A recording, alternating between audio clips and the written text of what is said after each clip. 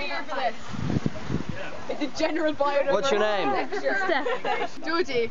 Ella. Amy. Dive Master Dave. Laura. Ben. Alex. Chrissy. David. Harry. Where are you from? Wales. Northamptonshire. Uh, Plymouth. Devon. Luton. England. Essex. Jersey. London. Uh, Sheffield. England. Why are you here? Uh, just to experience life as an RA.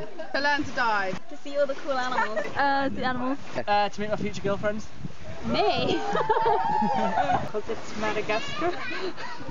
It surely is. Uh, check out some chameleons and stuff. I wanted to do something different before I went to uni um, and do something that makes a difference as well, I guess. Because I wanted to do something fun before uni.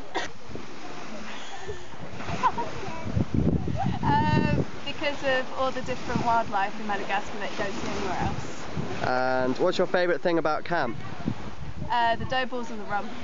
Um, oh, you're new You, Henry. Yeah, quite you. Yeah, Henry. It's on the beach. Um, when they bring in Toblerones. Well, hey, Uh, quick cricket. Looking for reptiles. That and stuff. whoop whoop.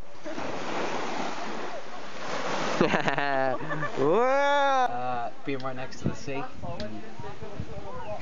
whoop. What are you doing right now? Cooking.